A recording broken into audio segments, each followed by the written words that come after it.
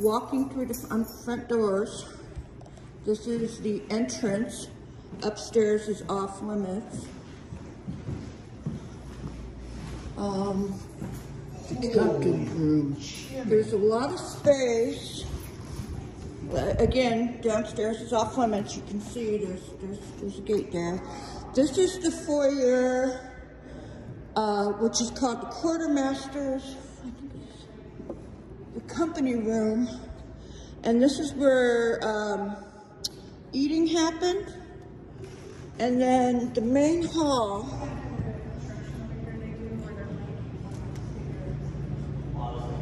This is the main hall here. Um, it's pretty ginormous. But I wanted to point out the kitchen. So this is the entry to that foyer that I talked about.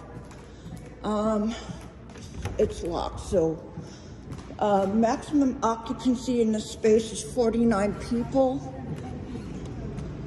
All the entry areas have maximum occupancy signs. Um, we used this space over here off to the side as a performance green room right here. So this is another room. I think that back area there was off limits last time.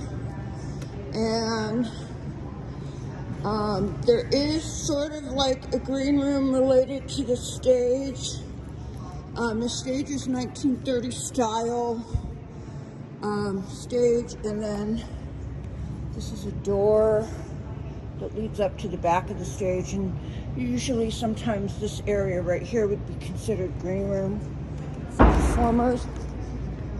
Um, right now they have a, a screen up on the stage and I'm assuming this is the exit. Oh yeah, maximum occupancy for this area is this many people. Okay, and I'm gonna stop the video and start another one.